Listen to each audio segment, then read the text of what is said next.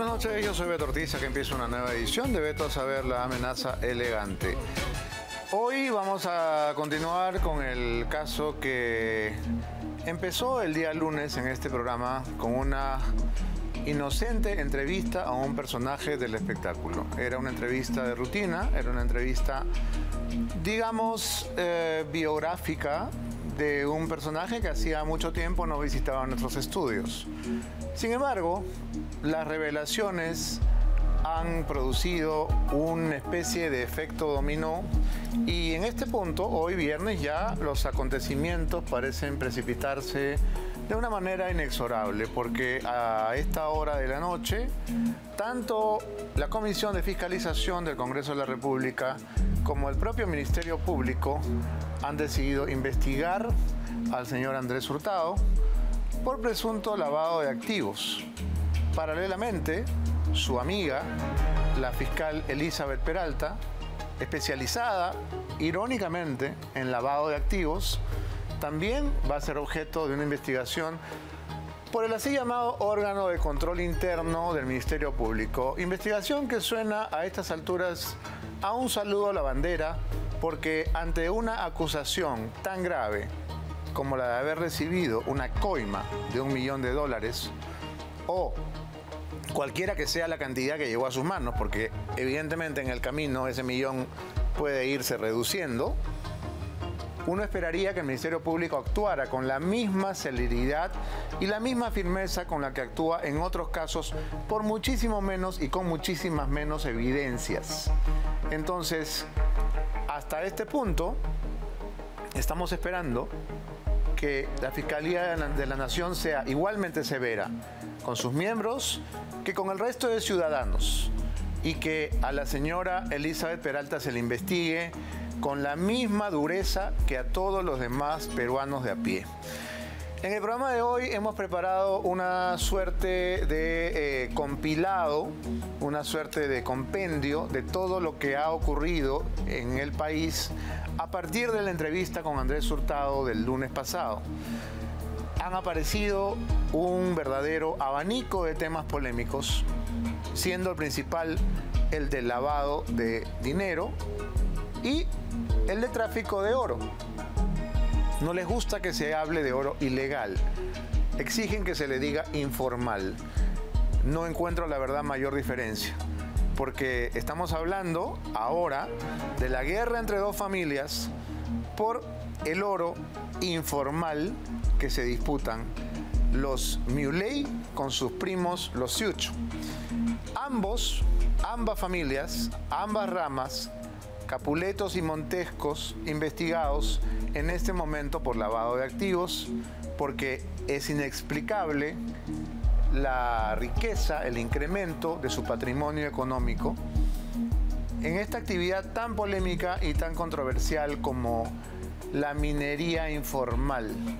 Vamos a ver algunos momentos clave, algunos momentos eh, cumbre de esta conversación que terminó revelando toda una oscura trama de influencias en el Estado y de todo tipo de tráficos y trapacerías. Adelante. ¿Conoces a Mateo Castañeda? No, no lo conoces. No es tu amigo. ¿A cuántos de los hermanos Siucho admitirías conocer? Mira, son un grupo de hermanos. Yo estuve en la. Podemos poner las figuritas porque yo tampoco lo tengo muy claro. Son cinco hermanos y la razón por la que está chiquita la foto de la Oreja Flores es porque, como todos saben, el Oreja está casado con Ana Ciucho, que es hermana de estos cinco caballeros. Sí, los conocí en el. Fui el único invitado al, al matrimonio de Orejitas. ¿Cómo el único? O sea, los dos novios y tú, nada más. No, pues.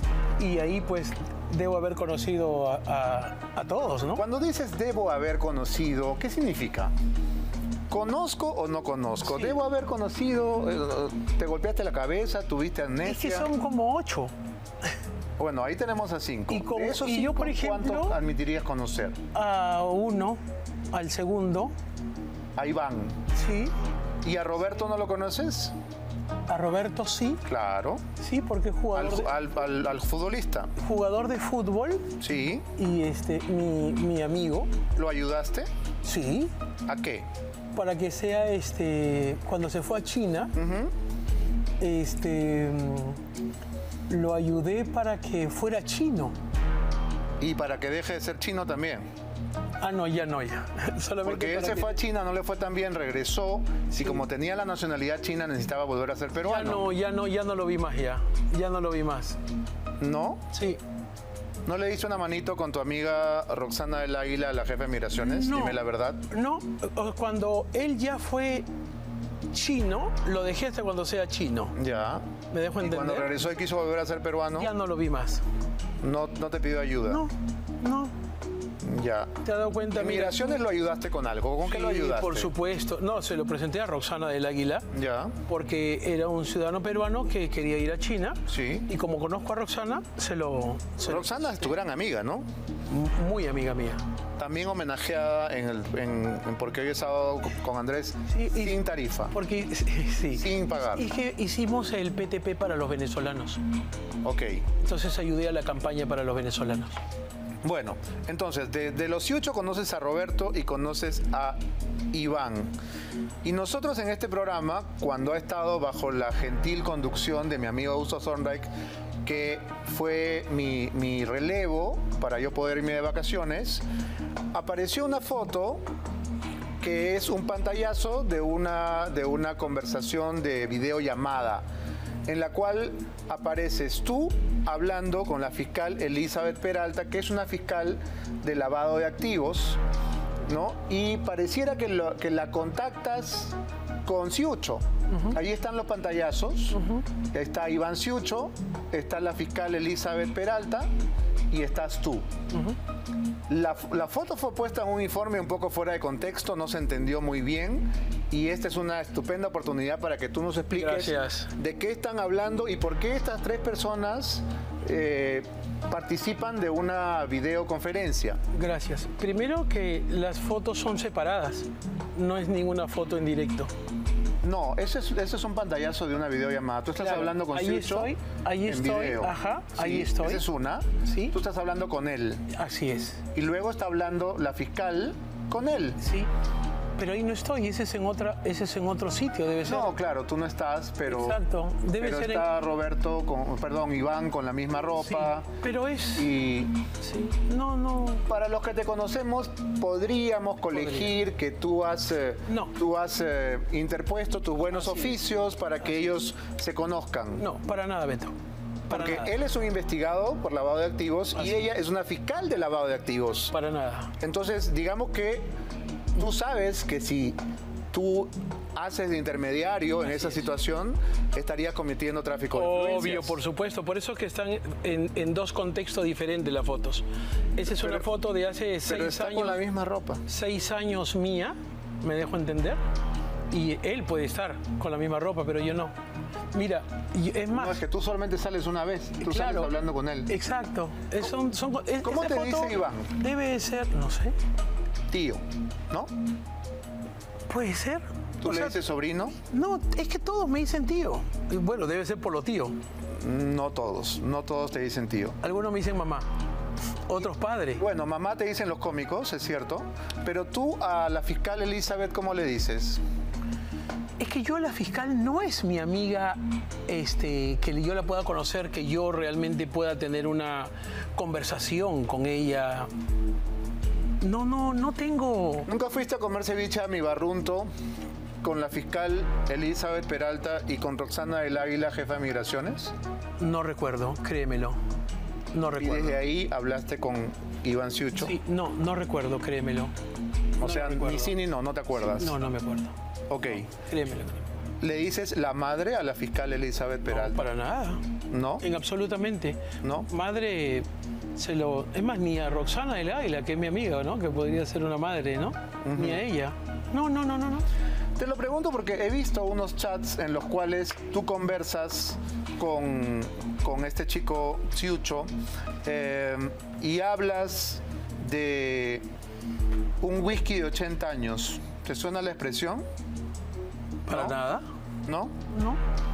es una conversación de diciembre del 2020 y tú hablas con Roberto Ciucho y le hablas de un whisky de 80 años. No, no, para nada. ¿Qué podría significar un whisky de 80 años? No sé. No. No, de verdad para nada, en absoluto. Tu relación entonces con los Ciucho es amical. Por el, matri- por el matrimonio. Y No, pero te invitan al matrimonio porque eres una persona especial para ellos. Para orejitas. Es tu gran amigo. Sí, tuvo la gentileza de invitarme al matrimonio y ahí conocí a mucha gente. No me acuerdo también quién estaba. Ah, el otro invitado fue este. ¿Cómo se llama el vicepresidente? No importa. Estamos- se nos va el tiempo. Ya. Lo puntual aquí es que tú me estás diciendo que no, no hiciste de intermediario entre la fiscal Peralta y Ciucho, que sería tráfico de influencias. Y otra cosa que podría ser tráfico de influencias también es el hecho de que tú recibieras una prebenda, un beneficio, un pago, un regalo, a cambio de eh, gestionar contactos con el Ministerio Público. Pregunto, ¿no te has olvidado de ningún vehículo cuando me has hecho la lista de carros que manejas? Te cuento algo. A ver, Para sacar de contexto. En ningún momento existe nada del Ministerio Público. Si el jugador Siucho, el jugador Roberto, Roberto, y no Iván, que es el que está acusado de tráfico de oro. exacto. Ok, Roberto sí tuvo una delicadeza conmigo ok, ¿cuál fue? de regalarme un carro. Ah, Sí. vaya delicadeza. Claro. Eres un hombre afortunado, Andrés. Nadie tiene esas delicadezas conmigo. Bueno, no te olvides de que Nadie. A mí Pero- nunca me han regalado un carro. Soy un pobre y triste huevón. Mira tú, o sea, tú puedes pagar, digo, cobrar por entrevistas, tú te regalan carros.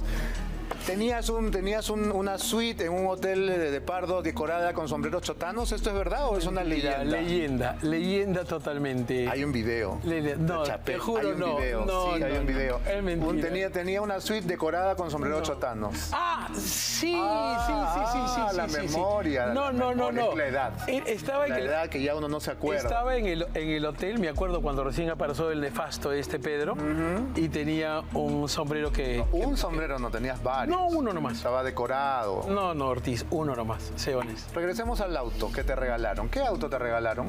Era un carro, era un carro chiquito, honestamente. Me- Carrito, me- un puntico. es que no me gusta, la verdad que no me gustaba. ¿No te gusta? No, era, porque era, yo corro, Regálamelo a mí. me gusta. ¿No era- te gusta? Regálamelo a mí. No, es que al día siguiente yo lo vendí. Así, ¿no? ¿Y por qué sigue tu nombre? ¿Hasta ahorita? Mira que no lo sabía. Fíjate bueno, tú. mira que Siucho, ojo, hay que remarcar que Siucho, el jugador de fútbol. No, este carro estaba a nombre de el Orejita Flores y su esposa Ana Ciucho. Vamos con el primer papel que te ha sido al último, son tres. Vamos primero con el SOAT. Ah, ya pues se lo habrá, se lo habrá El. SOAT, ese no es el SOAT, el SOAT, por favor, hagamos las cosas bien. Ahí está, ahí está, muy bien. ¿A nombre de quién sale?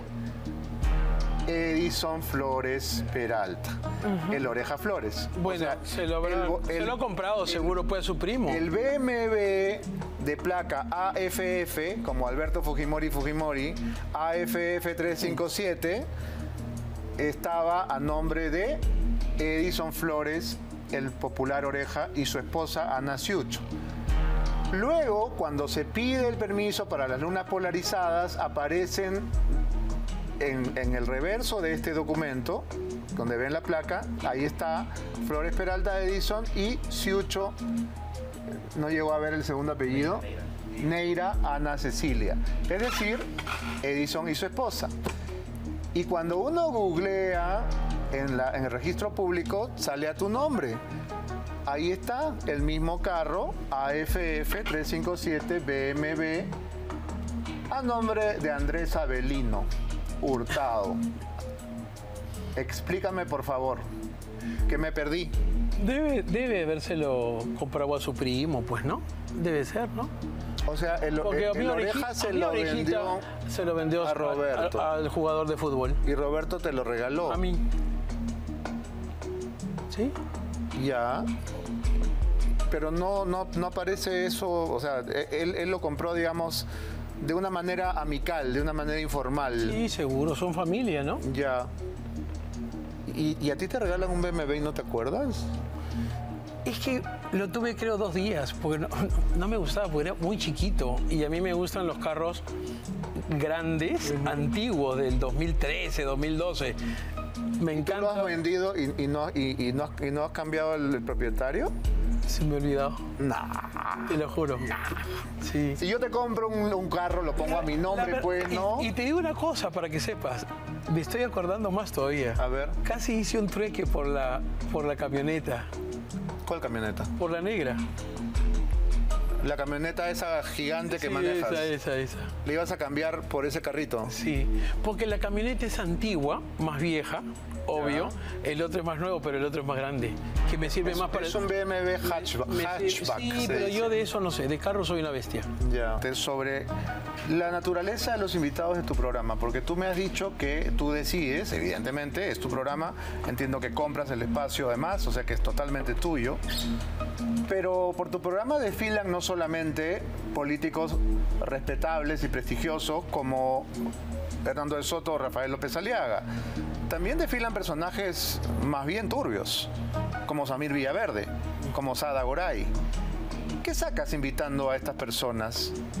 Eh, ¿Cuál es, la, ¿Cuál es el interés público? ¿Es, ¿Es relevante? ¿Es entretenido? Sí. Samir Villaverde, no necesito aquí recordar cuál es su historia, todo el mundo la sabe. Y, tú le rindes homenaje. Entonces, mezclas hábilmente personas respetables, como las que he mencionado, con personajes como este. Y entonces en ese chocolateo haces de lavandería y mezclas a, un, no sé, a un personaje como Sada Goray con de pronto eh, la, la presidenta de la Corte Superior de Lima. Y entonces todo parece como muy prestigioso y muy elegante. Pero ya sabemos quién es la señora Goray y quién es el señor Villafuerte. Perdón, Villaverde. ¿Para qué invitar a este tipo de personajes? Perfecto. ¿Qué hay detrás? Perfecto. Eh, Samir Villaverde tiene unas edificaciones y ese día hice el comercial. Ahí no está en las imágenes. Está acusado de tráfico de terrenos. Sí, bueno, pero no es que tiene unas edificaciones. Ah, ya, ya. Bueno, Está yo- acusado de tráfico de En terrenos. ese, en ese día presenté los, edif- los departamentos que vende los edificios. Vamos a verlo. No, esto se llama propaganda. Esto, esto, no es, esto no es ni periodismo político ni entretenimiento, es propaganda. Y la propaganda se paga. Sí. ¿Por qué no le cuentas a la gente la verdad y nos dices cuánto cuesta ir a tu programa y recibir ese homenaje? Ya, yo hice mis presentaciones vendiendo su departamento y ahí lo entrevisté a él. Ese es mi tema, Beto. Esa es mi, mi verdad. Hice mis presentaciones vendidos, o sea, le hiciste publicidad. Hice publicidad. O sea, le cobraste un- un- un- una tarifa por hacerle publicidad. Por hacerle publicidad. Y la entrevista era la yapa de la publicidad. Bueno, él, él lo contó sobre los departamentos y ahí contó de que estaba con, con Castillo, ¿no? Ese tema. O sea que si yo publico un libro y te digo, Andrés, voy a, voy a hacer publicidad a mi libro, ¿cuánto cuesta promocionar mi producto y de paso me haces una entrevistita? Más o menos, ¿a cómo sale? No, no, no, no es tan, no es tan así. ¿Cómo es? Por ejemplo, en el caso de la señora Goday que acabas de ver ahí, Goray, Goray, en el caso de la señora Goday, ¿puedo contarte del caso? por favor. Estaba en un restaurante, La Cuadra de Salvador, restaurante de Fernando Pasos. sí, ¿Es su amigo? no, no lo conozco. ¿No? Y estaba en... ¿Por qué escogiste ese restaurante? No, yo estaba ahí. Y estaba en el Por eso estabas ahí, pero ¿con Estaba- quién? ¿Por qué? Ah, ya, ya. Estaba con Héctor Gordillo, con mi manager, todos, y nos fuimos a comer carnes. Era la segunda vez que íbamos a comer carnes. No sabemos quién es Héctor Gordillo, pero no, no viene al caso. Bueno, ok, es mi manager. Ok. Héctor Gordillo es tu manager. Sí, Héctor Gordillo. No tu productor. No, él es José Malpartida. Ok. Héctor Gordillo es el, el manager y nos fuimos a la cuadra de Salvador a comer unas carnes. ¿Al privado o a las mesas? No, no, no, a la mesa. Ya. Estábamos todos. Y llegó Sada Goray con Mauricio Tijero, y Mauricio Fernandini y Salatiel Marrufo. Entonces, ¿No? no, solamente es, no, yo conocí a Sara y a Mauricio.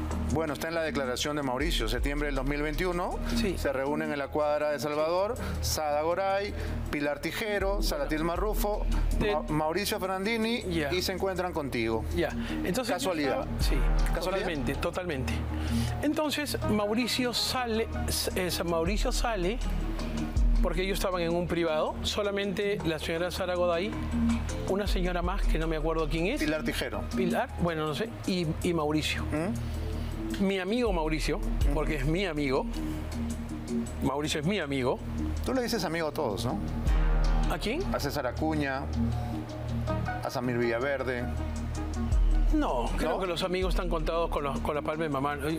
Bueno, Podemos ver un video donde le dices que es su amigo y que tu programa es tu casa. Acuña también, ¿ah? es, es un- es un... Es una manera de decir. Sí, pero en el, en el caso, salvando, Ah, o sea, que de- distancias... Depende en qué, en qué tono lo dices. No, no, sí también puede ser, Porque a Acu- lógicamente, a porque la Acuña palabra le- es amigo. A Acuña tú le has dicho, usted es mi amigo y este es, su casa. Es genérico.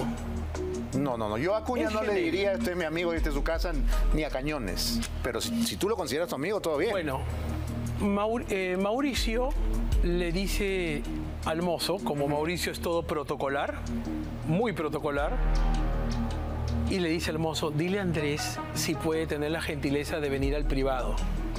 Por supuesto, me fui al privado. ¿Quién te quería conocer? y, me, y no, no, no, no, él me dice, te presento a Sara Goday. Pues entonces Ada Goray te quería conocer. Sí, Porque luego apareció sentada en tu pero, programa. pero permíteme, permíteme esto. ¿Ya? Se lo puedes preguntar y no tengo necesidad de decir mentira. Mauricio me pide, Sara hace edificios, edificaciones.